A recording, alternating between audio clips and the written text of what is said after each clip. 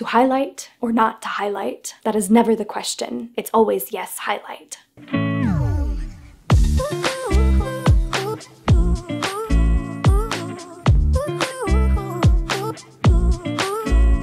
Hello and welcome to Jade Reviews. I'm Jade and I'm going to be reviewing. I am wearing the sparkliest shirt that I own. In fact, I think it's the only sparkly shirt that I own, but it was necessary today because the subject matter of the review that I'm offering is explosively radiant, glittery, shimmery beautifulness.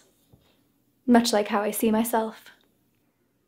All right, what we're gonna do first though, just as we're starting out here, we're gonna look up how to pronounce this brand because we're not having another last video. Nikkie Tutorials herself has confirmed that it is Ofra, which I was pretty sure that's what it was, but I'm sure about a lot of things and I'm often wrong. Today I will be reviewing Ofra Cosmetics Pillow Talk highlighter. I kind of just want to start by saying that I don't know anything about makeup. Not a damn thing. I don't know how to pick the right makeup for my skin tone and complexion. I don't know how to put makeup onto my face itself, like the fundamental basics of applicating, applicating? Using the tools to put the makeup on my skin is something that I don't know how to do either. And you might be thinking, you're clearly wearing makeup right now. We can see it. We can tell tell that there's some things happening that are probably not your normal skin. And you would be correct. I am wearing makeup. So clearly I know how to get makeup to be on my face. But by no means would I say that I am very good at it. And I'll just get in here for a second. Just get like really close together and you can just like take a look at what I'm talking about. There is technically makeup on me, but like what's happening to my eyeshadow? I don't know. Is it blended well? Is it in the right positions? Is the pink that I chose for no reason? Does it even work with my skin? Does it bring out my eyes? All questions that I don't know the answer to, despite how many videos about makeup and makeup tutorials that I've seen, none of it seems to make a lasting impact on my brain. So I've basically given up trying to learn proper techniques for makeup application and I just do whatever feels right. Like, it's not even blended, you know what I mean? I stuck a couple colors on there and was like, good enough. I wanted to offer that preface because as I move forward with this review, I wanted to just clarify that we're not talking about the specific way that it is applied and demonstrated on my skin because I don't know what I'm doing and I'm not the best at putting makeup on. And I just needed you to know that before I start talking about this seriously amazing highlighter because anything that you're watching and you're like, oh, Jade, I don't think that looks quite right. I assure you it's not the highlighter's fault. It's all here. This is the general problem area. Something about you makes me feel like a dangerously highlighted woman. Ariana, let me know if you want to collab. This is not going to be a video, video, video. It is going to be a video. You didn't let me finish my sentence. This is not going to be a video tutorial or showing you how to use it. This is just going to be however many minutes of me talking about how friggin' awesome Ofra cosmetics are in general and specifically how just out of this world their highlighters are. I stumbled across Ofra when I was doing some research into vegan cruelty-free brands to try out. There were basically three points of makeup purchasing that were important to me for it to be vegan, cruelty-free, and clean. I had found this brand specifically listed in a Reddit thread of someone asking for highlighter recommendations on, I think, I want to say r/veganbeauty maybe. So I didn't find this all on my own. This came recommended by some Reddit user. Ofra is both certified with PETA and Leaping Bunny as cruelty-free, which if you don't know anything about cruelty-free certifications, Leaping Bunny is one of the highest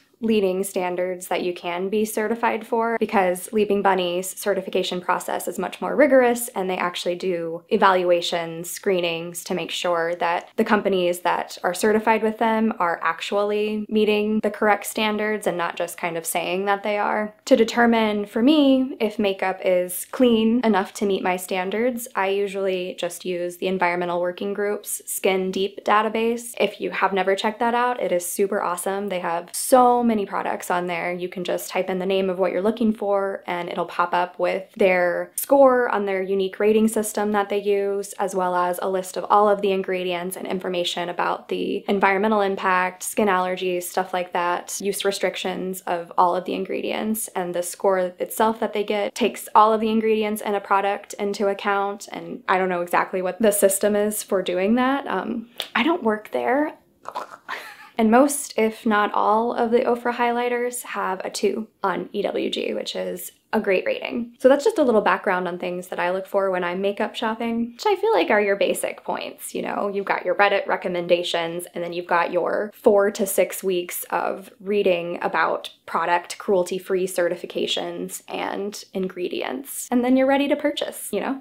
That's casual. I went with the shade Pillow Talk specifically because it was one that came recommended a lot of times. It seemed to be like a crowd favorite. And since I was just kind of dipping my toes into the world of nicer makeup than I was wearing before, I wanted to go with something that seemed universally appealing to people. I can't just rush into highlighting my face, all right? That's a lot of pressure. I mentioned I don't know what I'm doing, right? Obviously, my palette itself is well used. I've had this for quite some time now now. I think about a year at this point. So obviously you can see where I've used it and it's worn down. It's not as pretty as when it arrives, but I just wanted to give you an idea of how shimmery this is. And I know shimmer highlighters are not what everyone gravitates towards or wants, but I really like the sparkle. the sparkle calls me. See the light where the shimmer meets my skin. It calls me. No one knows how shiny I can go. We should actually find out. We should just start getting this on here, you know? Okay, so I am already wearing this. You maybe could tell that there's some shimmer going on. If you could just like ignore the circles under my eyes, that would be appreciated. I told you I don't know what I'm doing with makeup, so I do my best to cover those up, but that's just part of my body and the way that it looks, and I'm not really that upset about it. But also don't stare.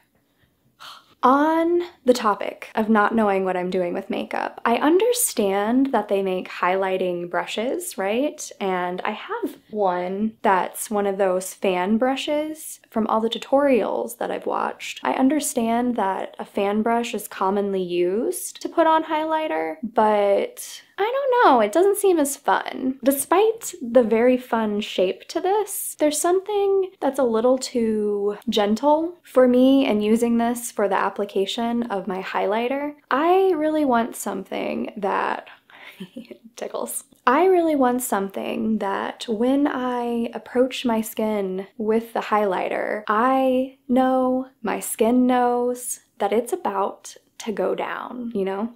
So I actually use this brush from Real Techniques that I think came in like a set of brushes that I got and I didn't know what to do with it until I just picked it up one day and I was like, let me just see what I think of this. And what I thought was, oh yeah, this is the experience that I was looking for. So you can see it's like, I don't know, just like a floofy brush.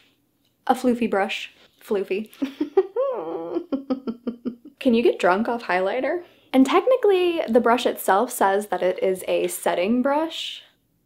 Yeah, and I don't know what that means. I don't know what they want me to set with this. Like I do after I put on my concealer and foundation, I follow it up with a loose powder that I use like my full powder brush to set my makeup. I think that's what I'm doing when I'm doing that, I'm pretty sure. So when I got this one in whatever kit that it came out of and it was like setting brush, I don't know, I had a bit of an existential crisis. What have I been doing this whole time? But I also, this was so small. I was like, are you sure? Are you sure real techniques? I'm supposed to use this for some sort of setting of my makeup. I have repurposed this into my highlighter brush. So that is what this setting brush is setting. It's setting the gleam that goes on my cheeks and keeps me personally happy all day long. I don't really know what it does for other people. I suspect it's possible that other people see my makeup and are like, okay.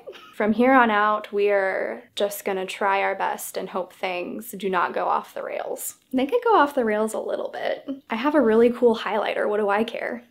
On value. So I will throw out there that Ofra cosmetics run a little bit more expensive. They are definitely not the same as buying like e.l.f., which are also cruelty free and vegan, or any other drugstore brand. I kind of wanted to treat myself. I wanted to, I don't know, kind of splurge a little on myself. I think we should all splurge on ourselves in some ways. It doesn't have to be monetarily. Could be painting yourself a really nice painting, you know? It's just for you. It's not for anybody else. This is going in my bedroom. Get your own. Have your own splurge time and get your own painting. But I will say that Ofra cosmetics are a little bit pricier, but they really are amazing. I got this on a sale that Ofra was having on their website, so I kind of lucked out because I think I probably got this and a couple other things for like half price. But normally their highlighters retail for around $35 for a 10 gram palette. But something else that I really loved about this that kind of amps up the value for me is that it has these refillable go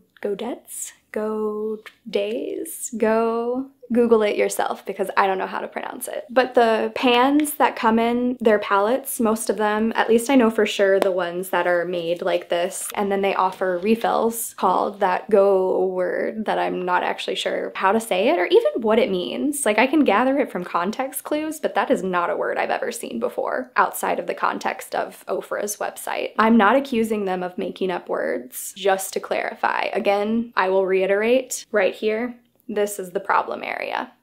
You can go buy refills of the pans themselves so that you don't have to keep buying the package that the makeup is stored in, which is, I think, such an amazing option. It makes me happy to know I'm kind of reducing a little bit of the plastic that I'm consuming. None of their products ship like plastic free or sustainably that I am aware of, but it makes me feel good to know that once I need to replace this, I can just buy the pan itself, which will decrease some of the plastic that I'm using and I don't have to keep buying the plastic case that the makeup makeup is stored in. And something else about the value of this is the case itself is really nice. Like I know you're not going to be able to feel it because this is a YouTube video, but the quality is so nice. It feels so sturdy. It does not feel like cheap plastic like you might get if you were buying like a Wet n Wild cheap eyeshadow palette or something. This is like serious, sturdy construction. It has a very nice mirror, not the kind of mirror that it's like, am I looking at my reflection in a potato? Would definitely give that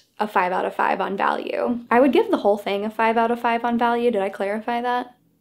What does it matter? This is barely a review channel. And the thing is, from what I've seen kind of watching Ofra's website, is that they do often offer some sort of discount deal or like a BOGO offer. So it is totally possible to grab yourself a highlighter for under $35 if you just kind of watch and you're not in any rush and you play your cards right. I mean, what even is my lipstick doing? I don't know how to put that on at all. Like I'm pretty sure this like side of my lip is up higher than that side and I don't think that's because of the way my lip is shaped. I'm pretty sure that was all application. User error. What was I talking about? On Quality. Quality, again, for me, gets a 5 out of 5. I am incredibly amazed by how smooth and like buttery this goes onto my skin. As someone who is not very good at doing makeup, I really feel like I don't have to be to wear this, which is amazing. Prior to this, I was using an e.l.f. highlighter, but this is honestly a lot better quality than my e.l.f. highlighter was, at least for me. Maybe some people who know how to do makeup can put other drugstore brand highlighters on and make them just like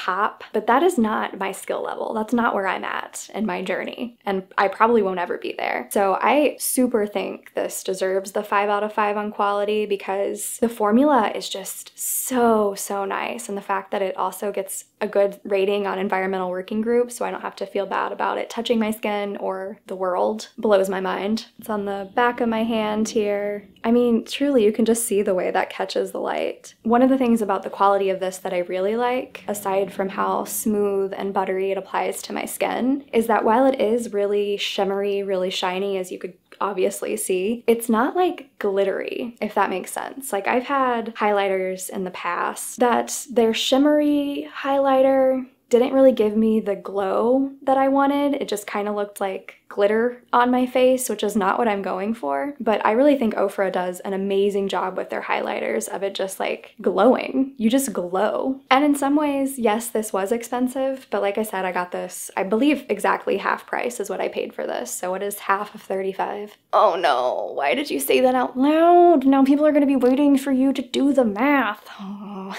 Okay. 1750?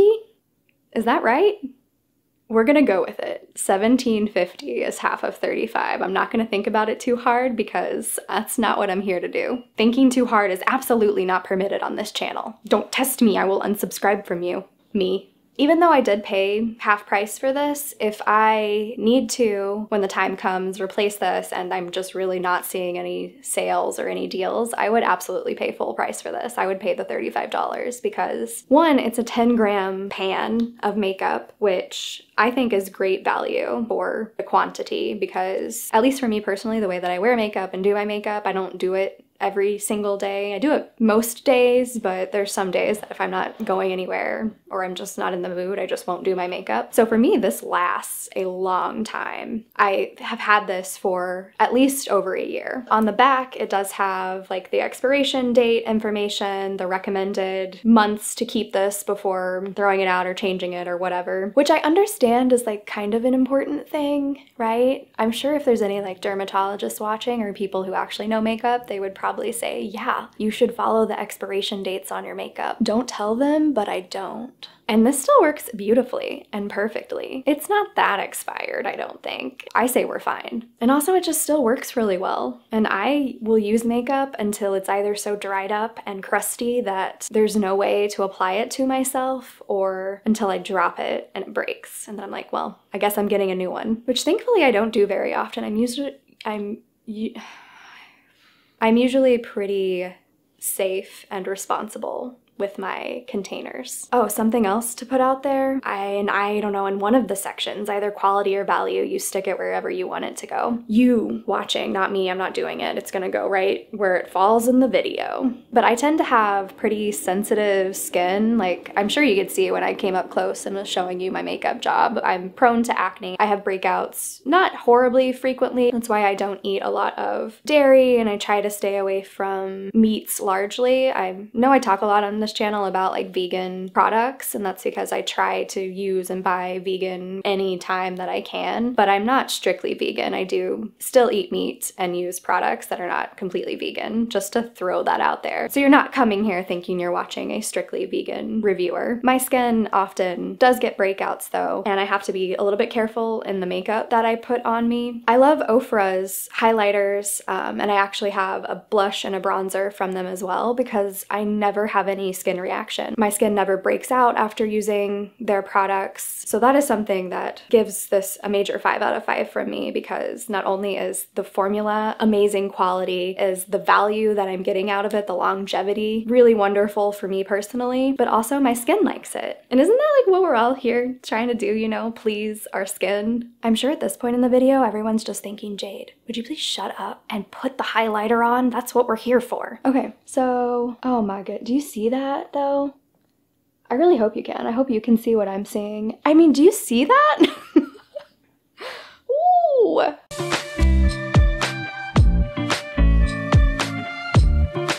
Now just imagine this, okay? Imagine like this, all right? Are you with me? Imagine this, but on you who can probably do makeup better than I can. Can you just like see the world that you could create if you did this for yourself, you probably know what you're doing, you know? I'm giving you a lot of credit here because many of you watching could be just like me, using brushes that you said were good enough for this job. Look at that. But if you like knew what you were doing and how to like do your makeup well, this is knockout level. So if I was in full sun, this is even more blinding. My skin is glowing pretty, no one around to judge me. I can't see clearly without highlighter on. All the shimmer is making me kind of thirsty. And you don't have to stop there, like you can put this anywhere. I like putting it at the tip of my nose. I don't know if I'm supposed to. I think so, I'm pretty sure I watched that in a, a, a, I on a tutorial once. I was like, yeah, put some on your nose. It looks real cute, you know? That's probably not what they said. And then I always like, yeah, like a little bit up here too. I'm like, why? I don't know. I don't know. I think I saw it on a tutorial once, you know? And is that the right choice for me? I don't really know because sometimes I do it and I'm like, does my skin just look more oily now? Am I drawing attention to a problem area for me, which is my whole forehead?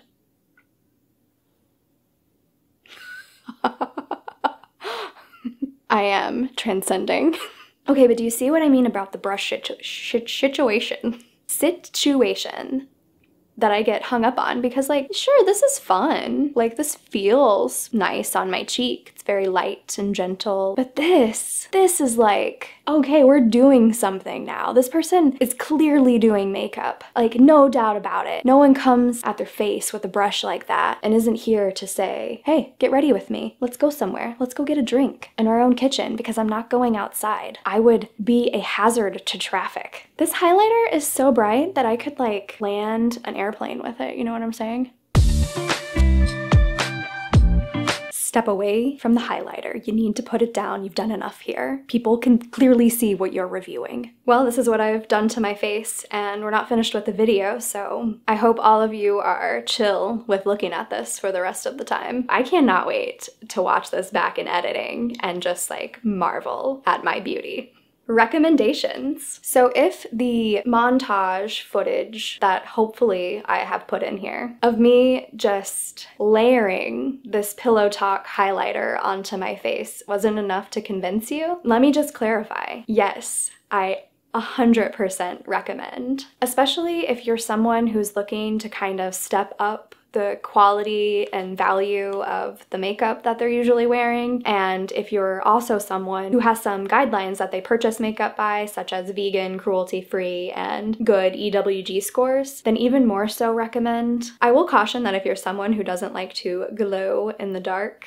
or frankly in broad daylight, that this is probably not the highlighter for you. There is no mistaking when it is on. Like, it is very apparent that you're wearing highlighter and it will give your skin this beautiful glow. And like I said, I went with Pillow Talk goes well, I think, with my everyday makeup without being like too flashy unless I get out of control and I just layer it on here. But Ofra has a very wide range of highlighters to choose from. They have all the way through like more golden sunsetty tones up through like pearlescence and pinks and I think there's even like a lavender hued one. I'm personally on the market and thinking about investing in a few more highlighters from Ofra. This is literally the only one that I have because I don't know much about how to do my makeup and so I keep it real simple for myself with one product in each category. You got one blush, one bronzer, one highlighter. I figure it's less hard, more easy for me to not mess my face up that way. But in particular, Nikkie Tutorials, if you're familiar with her, has a collaboration with Ofra. She has some highlighters through them. I think